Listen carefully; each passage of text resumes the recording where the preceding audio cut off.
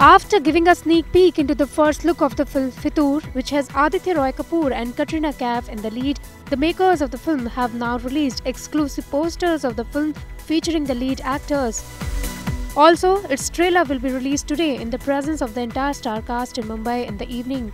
Fitoor, directed by Abhishek Kapoor, brings actors Aditya Roy Kapur and Katrina Kaif together for the first time on the silver screen.